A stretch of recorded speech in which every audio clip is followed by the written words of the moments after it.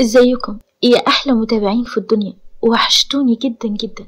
النهارده هحكي لكم قصة من أجمل القصص الرومانسية اللي ممكن تتابعها. روايتنا للكاتبة الجميلة سوما العربي. يلا بينا نتابعها مع بعض. وقبل ما نبدأ أحب أفكركم. لو أنت لسه ما اشتركتش في القناة أتمنى تشترك فيها وتفعل زر الجرس على الكل عشان يوصل لكم إشعار بكل جديد ولو عجبتك القصة ما تنسونيش بلايك فضلا وليس أمرا ويلا بينا نبدأ. وبنروح لعند جودي اللي خرجت من مدرستها قبل ميعاد الانصراف لأنها ما قدرتش تستحمل اللي حصل ومشيت بسرعة القاسم عشان تعرف منه هيعملوا إيه وليه حصل ده كله وتطلب منه إن يلاقي حل ويوقف الأخبار دي. فنزلت قصاد البوابة الرئيسية لشركات قاسم وطلعت لفوق بدموع وحزن وهي سمع صوت الموظفين اللي بيتكلموا عليها ومنهم اللي بيوجهوا لها نظرات حقد وحسد. فخرجت من المصعد واتجهت لمكتب قاسم فوقفتها منى السكرتيرة بحقد وسخط وقالت نعم جودي بأدب ودموع. ممكن أدخل لقاسم؟ قاسم حاف كده لو سمحتي عايزة أدخله استني لما أستأذنه. سكتت جودي ودخلت منى بمنتهى البرود للداخل. لعند قاسم اللي كان لسه قاعد بيتكلم مع عادل وبيحاول يهدى. فقالت قاسم بيه الأنسة جودي برا. انتفض قاسم من مكانه وغضب منها وقال بحدة وموقفاها برا يا حيوانة. اتصدمت منى من رد فعله. أما قاسم فخرج بسرعة عشان يشوف حبيبته اللي جاية قبل ميعادها. فخرج ليها ولقاها قاعدة بأدب وبتبكي ودموعها على خدها. فحضنها وهو مفزوع وقلبه بيتقطع عليها وقال لها بلهفة جودي حبيبتي مالك؟ فيكي إيه يا روحي؟ بتعيطي ليه؟ قولي ما تخبيش عليا.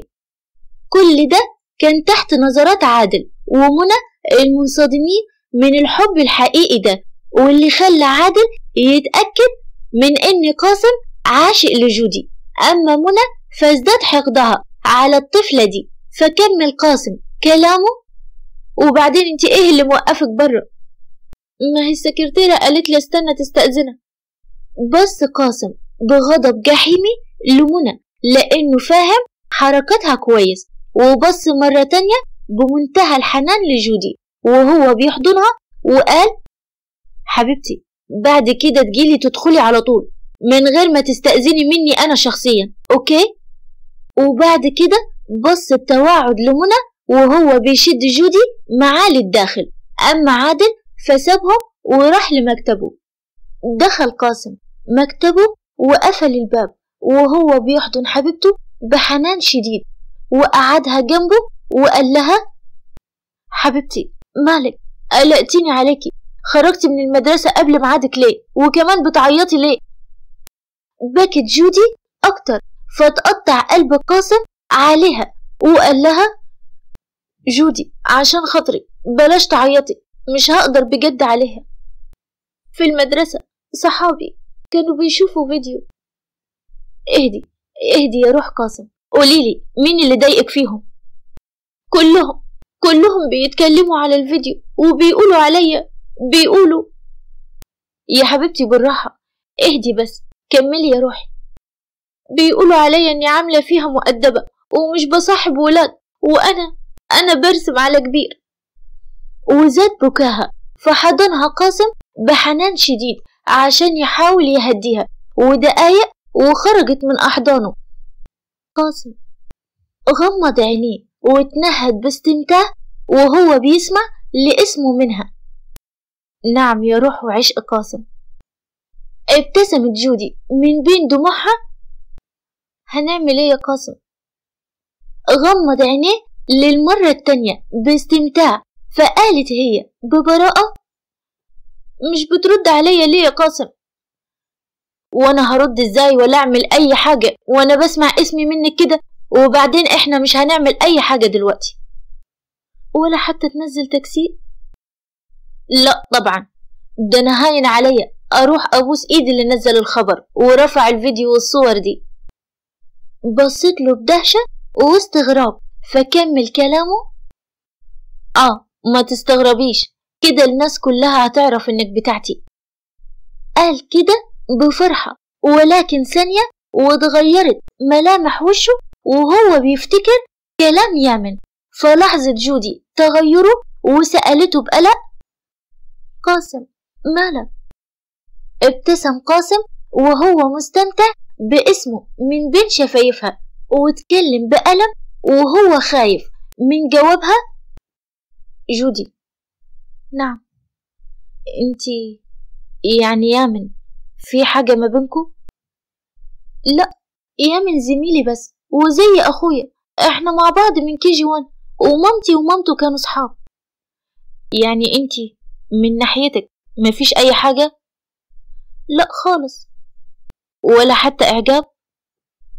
بصراحة وهنا وقع قلب قاسم في رجله فأكملت جودي وقالت بصراحة لو في إعجاب هيبقى ليك أنت قالتها وهي بتبصله بسحر فتعالت دقات قلبه من الفرحة وهو مش مصدق إنها خلاص هتغرم بيه فما كانش متوقع إنها هتحبه في يوم وكان هيكتفي بحبه هو ليها وبس ولكن بكلامها ده بردت قلبه فاحتضنها بقوة من شدة فرحه وبعد دقيقة بعد عنها وجري على التليفون عشان يطلب الأمن واللي خلى جودي تتصدم أكتر.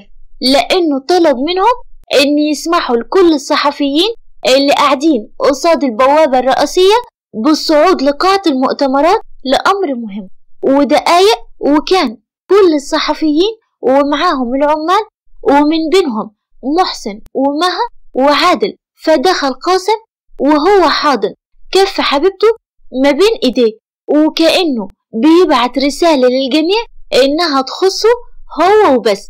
وفي نفس الوقت كل المصورين بيلتقطوا صور عديدة ليهم. فقعد على المنصة وقعدها جنبه. وثواني واتكلم وقال من امبارح وكل مواقع السوشيال ميديا بيشيروا الفيديو بتاعنا وكمان المجلات والجرايد. وأنا جمعتكم هنا عشان أأكد الخبر وأقول للناس كلها إني مستني لما جودي تتم ال 18 عشان نقدر نتجوز. وكانت الصدمة من نصيب الجميع فالكل كان متوقع إنها مجرد نزوة أو سقطة من سقطاته ولكن الواضح إن الأمر ده أكبر بكتير وكان من بين المنصدمين مها ومحسن. حتى عادل صديق عمره اتفاجئ جدا ولكن الصاعقة الأكبر فكانت من نصيب جودي اللي ما كانتش تتوقع إن قاسم هيصرح بالتصريح الجريء ده وثواني وانهال عليهم الصحفيين بالأسئلة اللي ملهاش عدد وهي بتحاول تبتسم وتستوعب الموقف أما قاسم فبيبص لها بعشق حقيقي وهو محتضن كف إيديها قصاد الجميع. وانتهى المؤتمر الصحفي المفاجئ اللي عقده قاسم وخرج وجودي معاه فوقفته مها وهي بتنادي باسمه فتوقف عن المشي وغمض عينيه وهو بيحاول إنه ما يضايقش نفسه لأنه دلوقتي أسعد إنسان على وش الأرض بعد ما أعلن تملكه وعشقه لحبيبته الصغيرة واتدور وبص لجودي اللي بتبص له بابتسامة ورجع وبص لمها ابتسامة صفراء وقال نعم يا مها في حاجة؟ في حاجة؟ هو حضرتك بتتكلم كده زي ما يكون مفيش كارثة حصلت من شوية. كارثة؟ كارثة إيه دي؟ مها وهي بتوجه كلامها لجودي اللي كانت بتتابع كلامهم باهتمام وقالت جودي يلا عشان نمشي من هنا. وحضرتك يا قاسم بيه الشغل اللي ممكن تضغط عليا بيه أنا سايبهولك. يلا يا جودي. بصت لهم جودي بحيرة فهي مش عارفة في أي اتجاه تروح. فتكلم قاسم بعيون مظلمة من الغضب. انت بتعملي إيه؟ انت مفكرة إنك ممكن تاخديها فعلا؟ وحضرتك مفكر إني هسيبها لك تتسللك بيها يومين؟ أنا فعلا مش فاهم انت إيه مشكلتك. اتدخل عادل في اللحظة دي وقال أكيد يعني يا جماعة مش هتتخانقوا هنا في الكوريدور بتاع الشركة. الموظفين كلها بتتفرج. ادخلوا أي مكتب وتناقشوا انتبه قاسم ومها وجودي على مكانهم. في أحد الممرات اللي بتسبق قاعة المؤتمرات وجميع العمال في الشركة واقفين بيتابعوا المشادة الكلامية اللي ما بينهم بمنتهى الاهتمام والدهشة. فشاور لها قاسم إنها تروح معاه لقاعة المؤتمرات للمرة التانية.